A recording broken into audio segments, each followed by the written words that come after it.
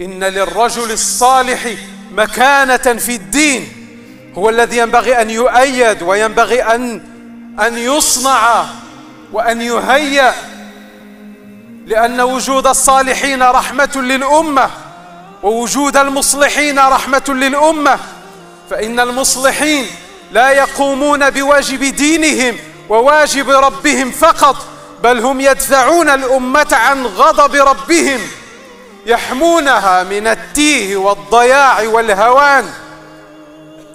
قال صلى الله عليه وسلم إن الله لا يأخذ العامة بذنب الخاصة حتى يتركوا الأمر بالمعروف والنهي عن المنكر فحينئذ يأخذ عامتهم بذنب خاصتهم. واتقوا فتنة لا تصيبن الذين ظلموا منكم خاصة.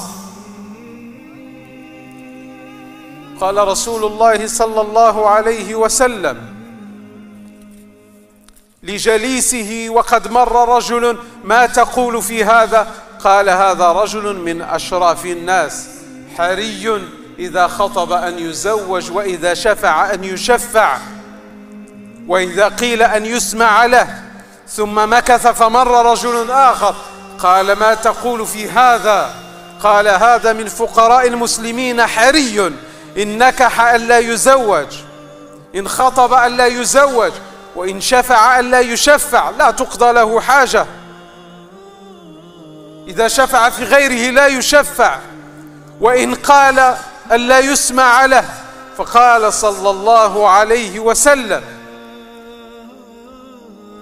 ملء الأرض من هذا أي الأول أو إن هذا أي الثاني خير من ملء الأرض من هذا أي من الأول.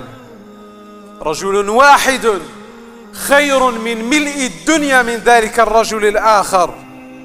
لأن العبرة بالصلاح بالدين بالتقوى العبرة بما تحت الثياب العبرة بمحل نظر الله تعالى العبرة بالقلوب والأعمال. يقول العلماء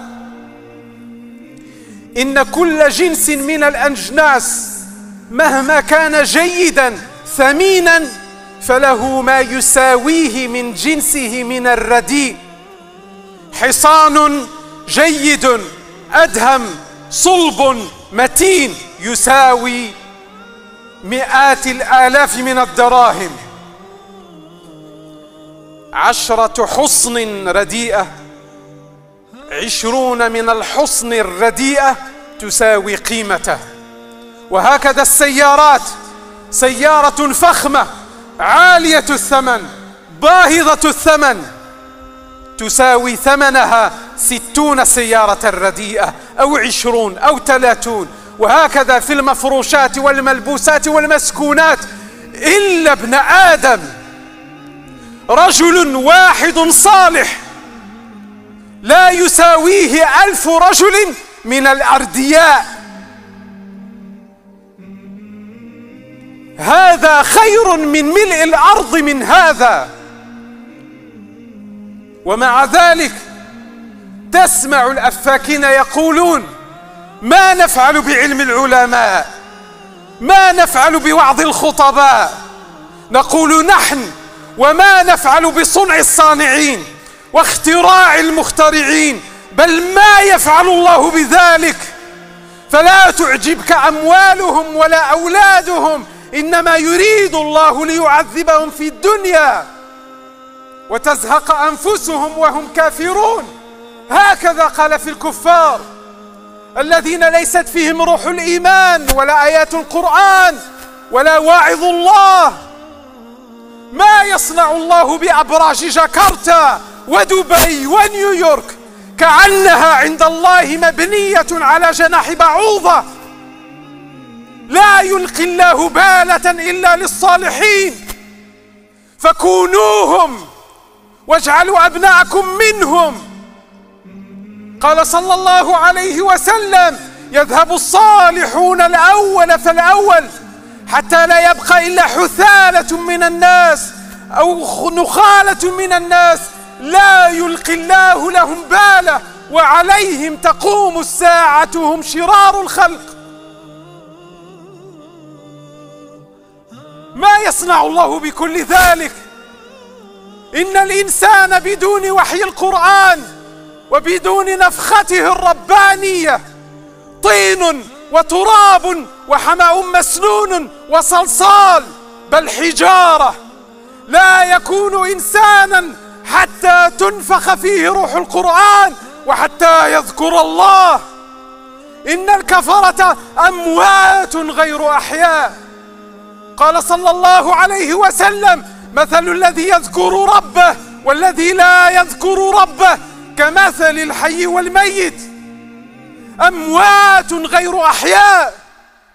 وإن تعالوا في البنيان وشيدوا واخترعوا وبنوا يلقي الله لهم باله رب رجل أشعث أغبر لو أقسم على الله أن ينزل مطرا لأنزله في التو واللحظة. أيها الناس إنما العبرة بالصلاح فأعينوا عليه.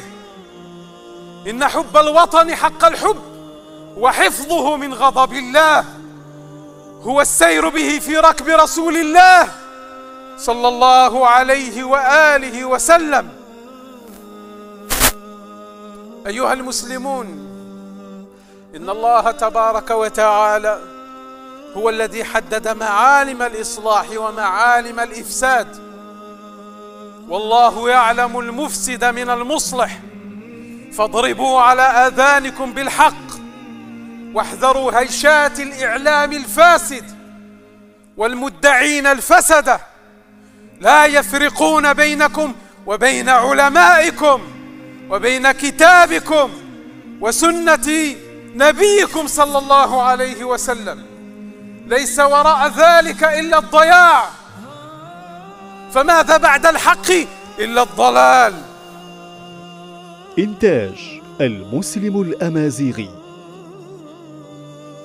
لا تنسوا الاشتراك في قناة المسلم الأمازيغي والضغط على زر الجرس ليصلكم كل جديد.